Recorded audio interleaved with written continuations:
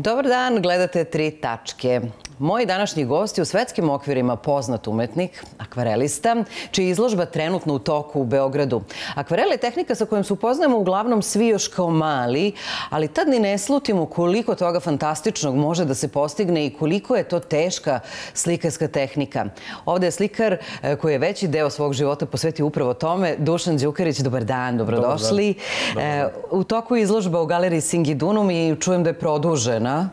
To je lepo čuti uvek. Pa jeste. Ja sam zahvalan Maji i Zorici na pozivu. Ovo je treći puta i kako su me zvali, ja nisam imao srca i duše da odbijem. Prihvatio sam. Pokazalo se kao izuzetan, izuzetan ovaj potez. Izložba je otvorena, produžena zbog velikog interesovanja, tako da svi koji žele mogu da dođu, pogledaju. Otvorena je do Mhm. marta.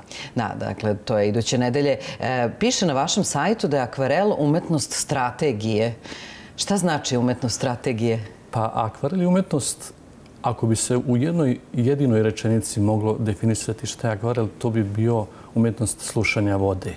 Akvarelu date sve, on vam uzme sve, zarobi sve i u tim najdubljim, najiskrenijim osjećanjima u vašoj nekoj intimi, naj, iskrenim, najtoplijim prenošenjima i dato akvarelu, akvarel uzajemno vraća i ta energija koju vi prenesete na papir je energija koja posmatrača dirne, raspoloži, da mu neku atmosferu slike.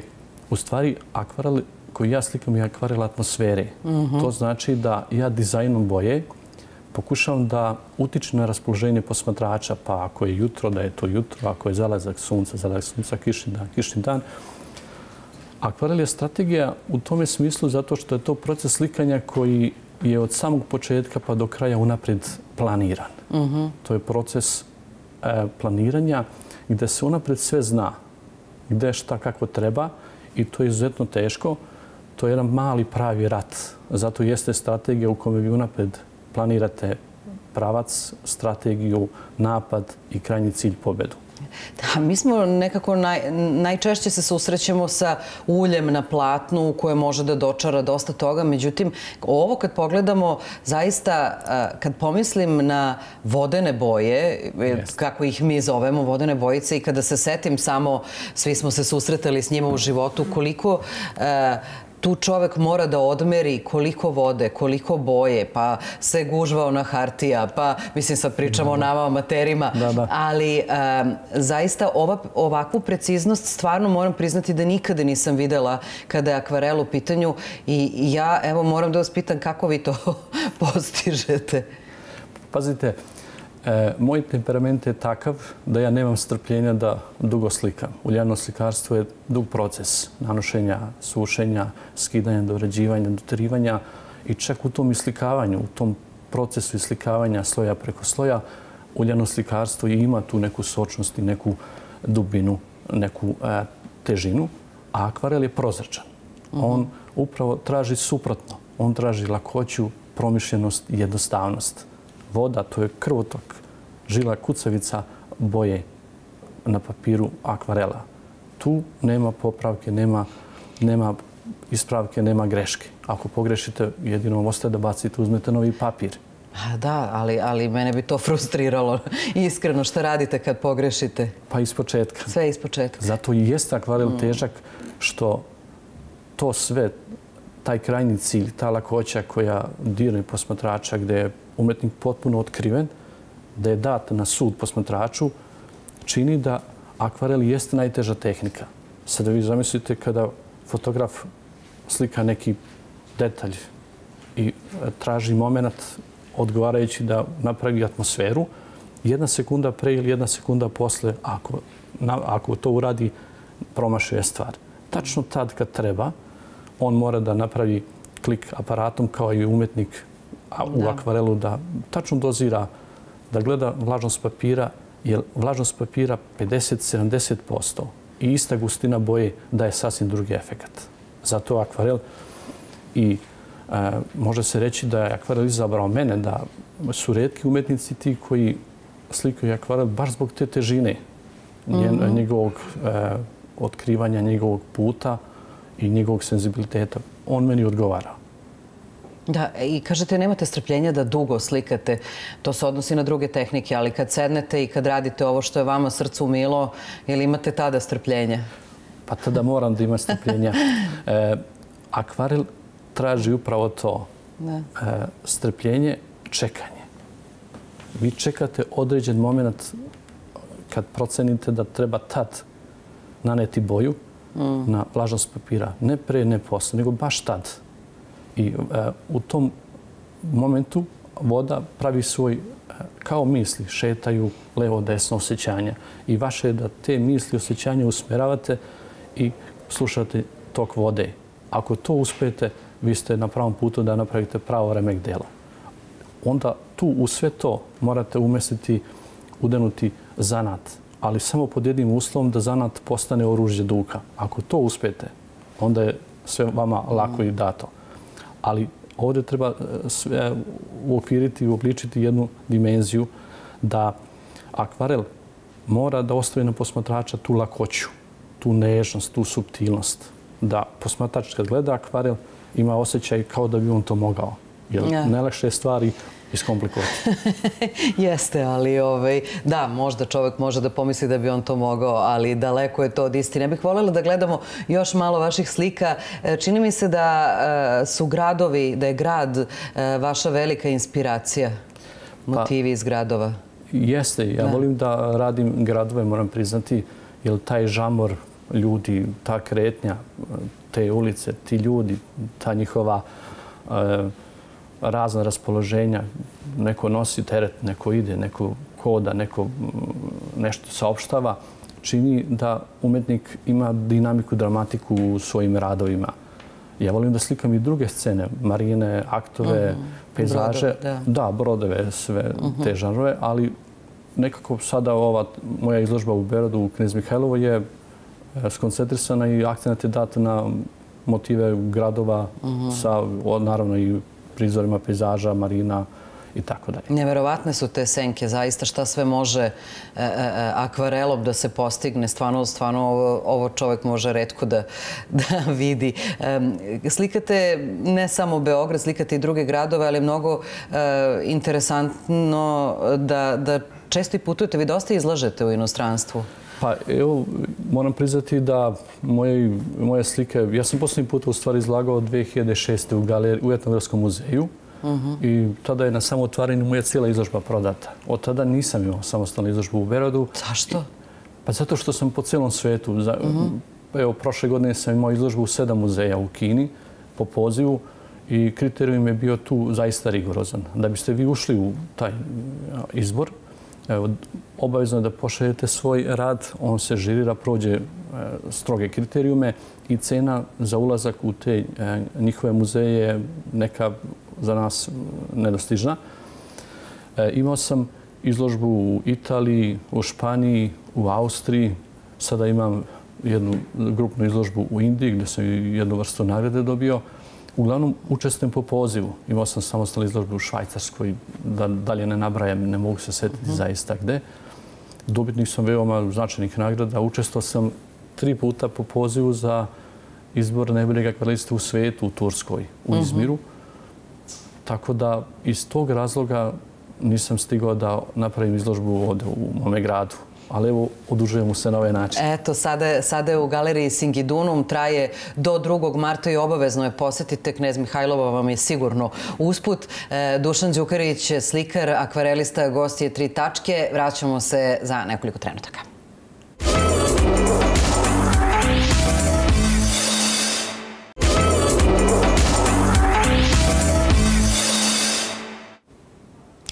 Dušan Đukarić, slikar, akvarelista, gost je danas na N1. E, pričamo o akvarelu, verovatno najtežoj e, slikarskoj tehnici, što mnogi možda i ne znaju, ali sad smo objasnili zašto je to tako.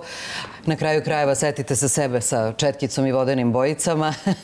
E, pa istina je, većina nas je to probala u životu, jer u školama je to obavezni deo likovnog ulja na platnu, redko koje Pa da, jeste. Ko, ko, ko, ko nije slikar imao priliku da proba. A rekao ste malo pre, e, akvareli izabrao mene. E, kako je to u stvari izgledalo u vašem životu? Pretpostavljam da slikate od detinstva, da se afinitet prepoznao odmah, jel? Pa jeste da, da. Jednom jedan veliki slikar rekao kada bi se posekao po ruci, čini mi se da mi umjesto krvi potekla boja. Moj dečački san je bio da postanem slikar. Imao sam tu raznih turbulencija, trebali izabrati ovo, treba biti ono. Ali međutim, moja upornost me je odvela do toga da ipak akvarel prevladava sve te sva ta iskušenja. Odmah ste se akvarelu posvetili? Ne, ne, ne, nisam, ne. nisam akvarelu. Mhm. Ja sam cijel život slikao, zaista. Dobio sam još kao dečak nagrade, ali ja sam jedan dugi niz godina, možda čak i jednu i pol deceniju slikao crkvenu umetnost, crkveno slikarstvo. Mhm. -huh. I tu nekako čini mi se da je to bila prekretnica, jer stvorio se utisak da ljudi koji slikaju crkvenu umetnost, da to ljudi nisu kreativni stvaravci, da su to ljudi koji imaju neke uzore, modele, kalupe po kojima slikaju i to je mene stalo onako držalo.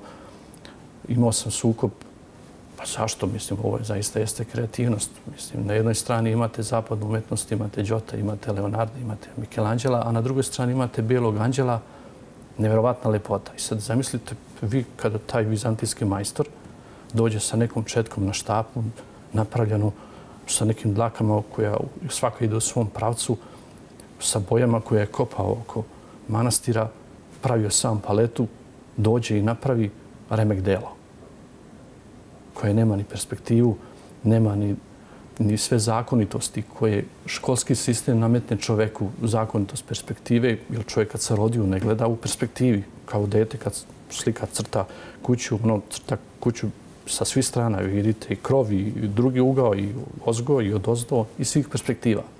I sada vi zamislite, ti takvi majstori slikaju umetnost. Da. Kapa dole. I u meni se javi bunt. Ja ću uzeti nešto drugo da slikam. I izabrao sam akvarel sasvim slučajno. Eto, moja supruga je tražila da joj naslikam jedan akvarel. Ja sam počeo i to me odmah dirnulo.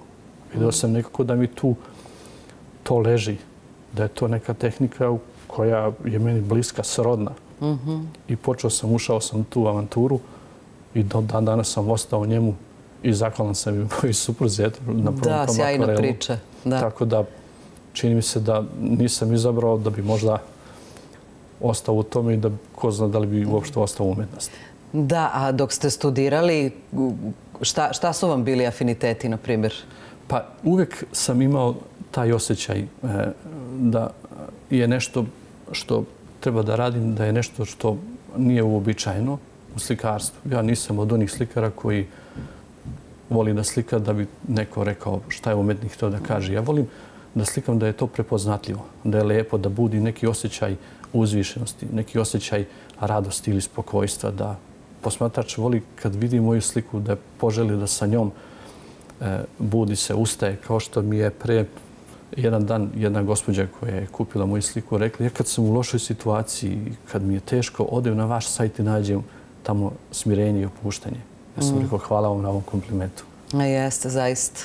Lepo je što možemo to da vidimo i na sajtu vašem. E, jedan deo e, slika vaših e, se nalazi trenutno u Singidunumu, ali kažete mi velike formate niste izložili. Prosto to zahteva i određeni prostor, pretpostavljam.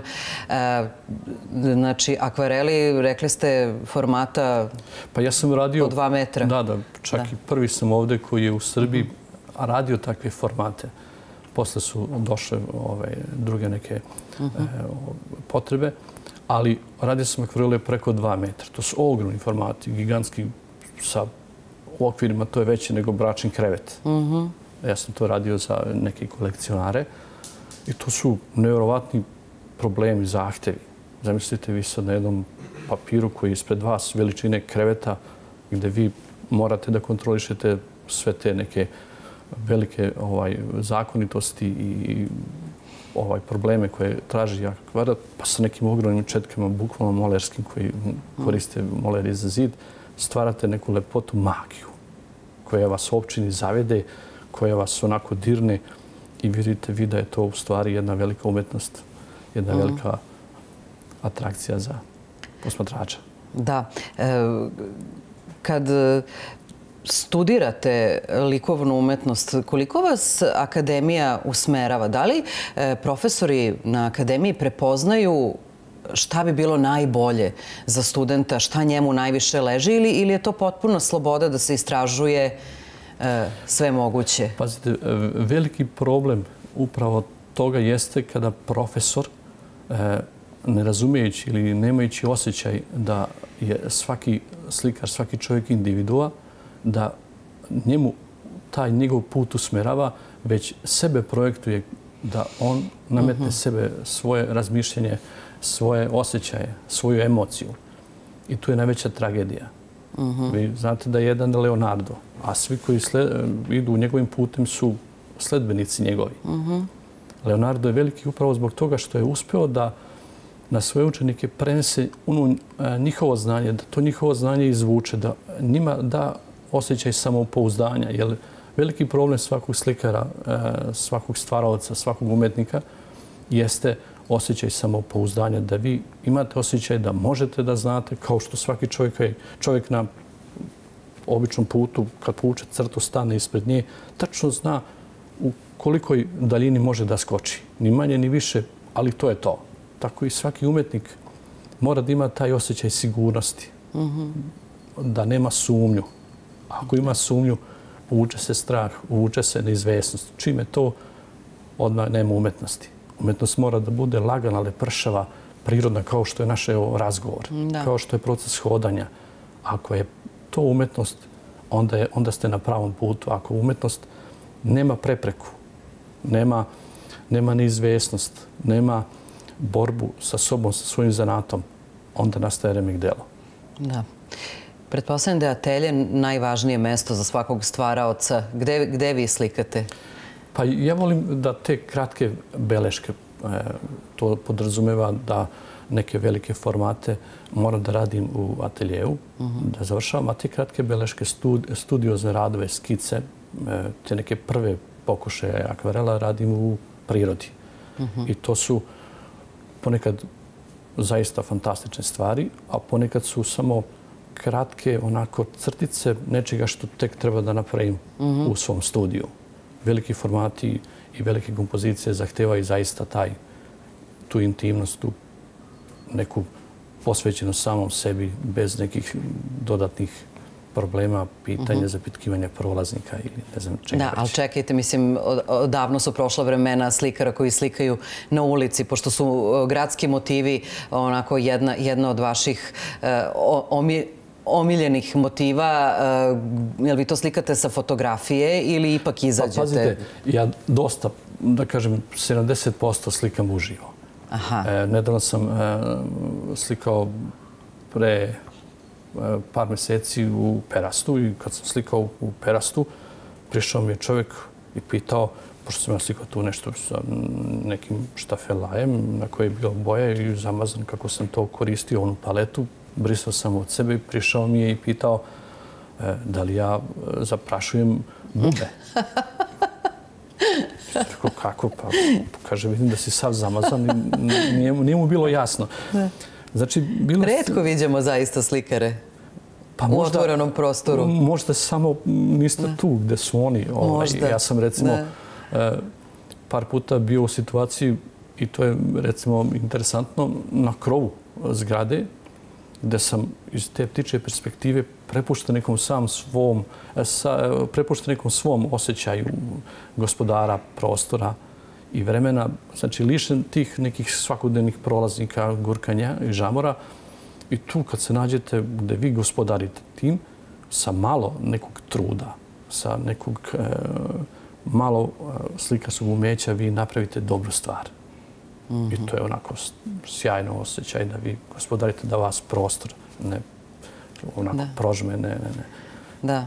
Mogu da zamislim kakav je osjećaj zadovoljstva kad, kad napravite i pogledate zadovoljni svoje, svoje neko delo i e, divno je biti umetnik, blago vama. Ali pazi, to, to je vrlo diskutabilno. E, ja recimo slikam tako što volim da on unutra u svojim mislima raščistim sve, raščlanim, da mi je sve jasno i sa tim odim da spavam. Sutradan, kad stanem pred prazan papir, počnem da slikam to što sam sve u svojim e, osjećanjima onako sabrao i promašim potpuno. Sad razmišljam gde sam pogrešio i da mi ne prođe dan uzalud, uzem drugi papir i sasvim spontano onako mm. počnem da radim nešto bez ikakvih prisila i napravim fantastičnu stvar. Dešavalo se recimo da slikam i posle par dana, a prethodno sam za tu sliku mislio da je pravo remek delo, vratim se i pocijepam. Žao mi je, ali umetnost akvarela je takva. Ja kad bih uspeo sve da skupim na jedno mesto onoga što sam odbacio, to bi bio sigurno pola ovog studija. Ali važno je ono što ostaje u galeriji Singidunum u Knez Mihajlovoj u Beogradu. E, možete do 2. marta pogledati jedan deo slika Dušana Đukarića, mog današnjeg gosta. Hvala vam što ste bili danas tu e, i vidimo se na izložbi koja eto još uvek traje. E, produženo je nekoliko dana. Obavezno posetite. Gledali ste tri tačke. Doviđenja. Doviđenja.